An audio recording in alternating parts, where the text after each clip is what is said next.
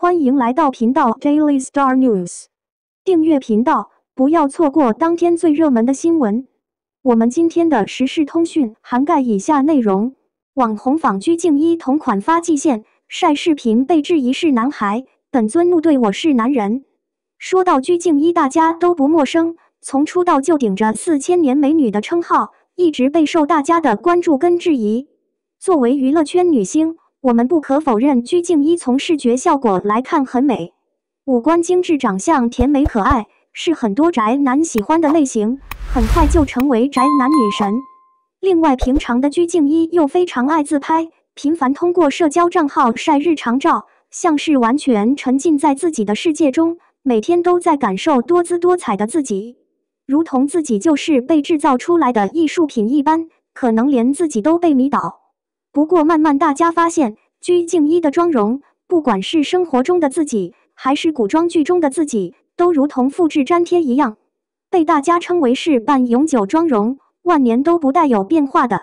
为此，也给自己招来很多非议。但鞠婧祎像是不在乎一边，这样的质疑让她热度跟曝光度都很高。本尊像是沉浸其中享受一般，可能正是因为她独领风骚的风格，成为自带热搜体质。一直活跃在娱乐圈，也让其他想要进入娱乐圈的人看到了捷径。比如说，选秀节目出道的爱豆刘宇，明明是一个大小伙子，却总是浓妆艳抹，比很多女生都精致很多。配上他爱下瘦弱的身材，加上秀气颜值，引发大众的关注跟讨论。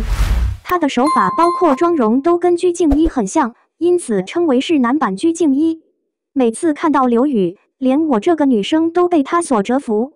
而自从鞠婧祎凭借妆容美貌出圈后，就初选了很多模仿者，纷纷来学习她。也不仅仅是刘宇，可能是看到两人接连的成功出圈，都看到了妆容带来的捷径跟热度。近日有网红也学起仿妆鞠婧祎，虽然没有什么创新，但不可否认的是，只要有了居氏妆容加持，确实个个都能成女神，这可不是骗人的。从视频情况来看，作为红红妮妮，很是吸引观众们的眼球，尤其是那迷离的小眼神，换谁都会多看两眼。而她仿妆鞠婧祎，不管是妆容还是发型，包括穿搭风格，跟鞠婧祎都如出一辙。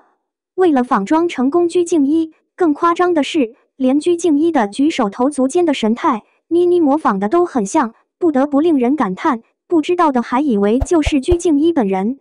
尤其是那发际线，两人完全就是同款。也正是因为这个细节，还引起网友们的广泛议论。有很多网友也纷纷表示，太像鞠婧祎了，我还以为就是本人的。这样的仿妆，一般人还真学不来。不行，在网上开个课程，教下妆容教程吧。也有的细心网友针对发际线发表自己的感受，有人还询问发际线到底是种植的还是涂的。本尊回应是文的，对此有网友质疑他是男孩子，却遭到本尊在评论区怒怼，称你侮辱人是不是？什么男孩子，我就是男人！一句话霸气回应，让人佩服妮妮的霸气。